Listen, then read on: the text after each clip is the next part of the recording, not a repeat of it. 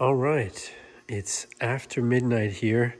I'm in my dad's garage, and this is our father son project. And well, she left now, but the family dog Ruby. And I just wanted to give a little tour here of this John Deere tractor because this is how I'm trying to learn a little bit about mechanics from my dad, who was a professional mechanic and then a farmer for a long time before he retired.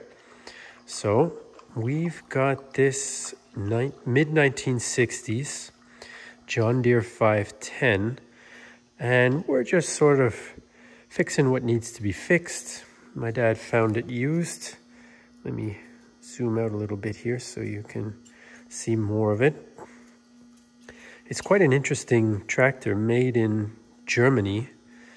I'll show you a little bit of what we've been working on here. We got the valve cover off, three cylinder.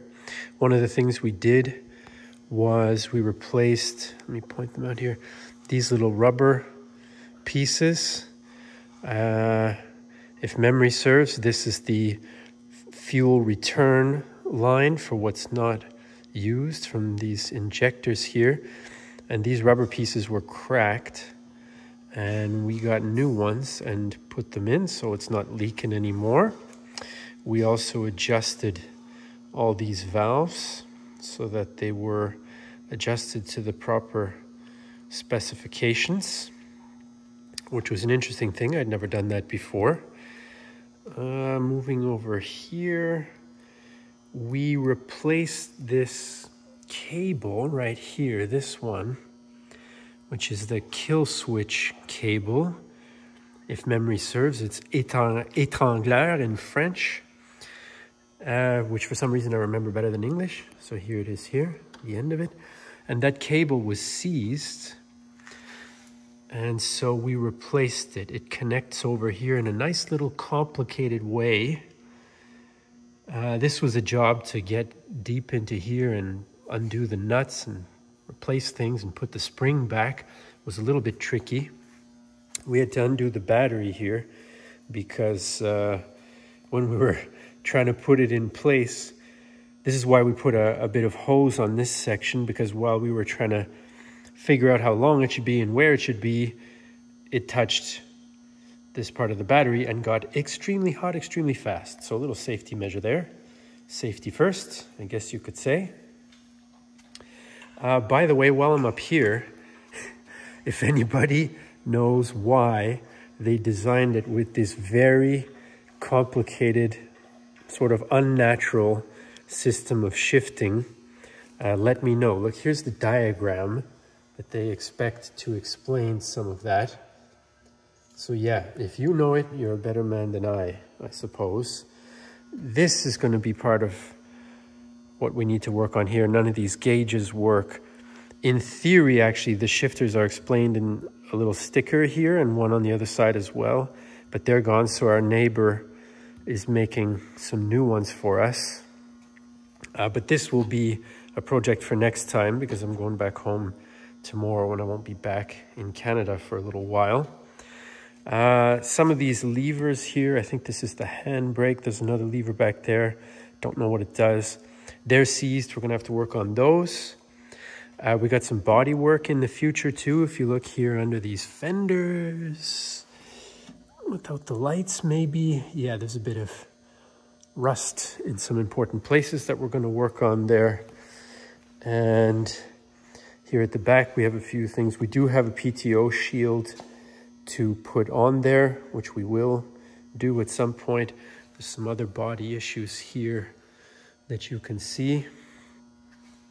Uh, we do also have a drawbar, an extremely heavy drawbar. Not sure why they made them so heavy. The tractor is only 40 horsepower, but that's going to get installed as well. I'm going to come around without my knuckles here. Sorry, folks. This is just a one take uh, little unscripted bit. Ah, yes, we're going to have to work on these uh, brake pedals here because underneath in there somewhere. They're seized together. They do work though, thankfully. And on this side, as Ruby does a little maintenance on herself there as well. On this side, we've been working on some fuel issues as well. This hose and the seals here were leaking and are leaking. That's why we have the pan there, and that's why this is also weeping. That's why we have this rag here. And we'll replace those. We ordered the parts. We thought they were going to come today, but of course, they're late. So better late than never, I guess. There's the new oil filter we put on. By the way, we changed the oil as well.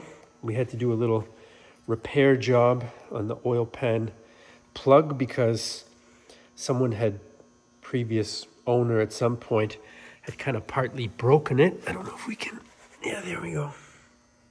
So we just welded a nut onto it because it was very difficult to get it off, uh, given the damage that had been done to it. While we're down here, I want to show you that this part, interestingly enough, I think that's all part of the oil pan, but anyway, it's made in France.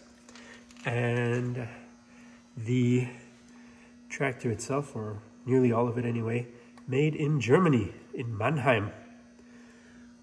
So if any Germans who ever watch this can give us any tricks or tips then uh, let us know or explain some of the interesting design features. Let us know. We also worked on the um, air filter up here in the front. I'm gonna make sure not to step on Ruby. It's an interesting um, type of air filter. I hadn't seen one like this before, but my dad explained it to me. Actually, I'll come around so I can show you a bit better. So it's like an oil bath type of air filter where this pot down here has some oil in the bottom, and when the air goes in with dust or other bits and contaminants, they just stick in the oil, which I thought was an interesting, an interesting feature. No idea what this arm does though. There's a weird arm that fits under this um, retaining strap, and it just kind of goes down and is attached to there, and we're not exactly sure what the deal is, this spring is not correctly attached, by the way. We just put a wire on it for now. There's actually a place where it hooks on down there near that pump. And then the grill needs a little TLC. For now, we just sort of tacked it back on here because it had rusted through, but eventually I want to do something with that.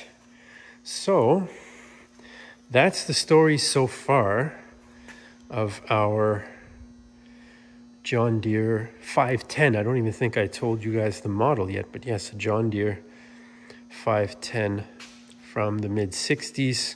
We got the manuals, we bought them, ordered them in, one of them in from the States.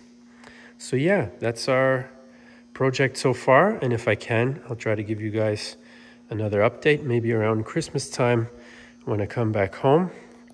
So, for me and dad and Ruby, who I think I've put to sleep by now. Uh, that's it. Hope you enjoy it. If you have any feedback, any tips, let me know.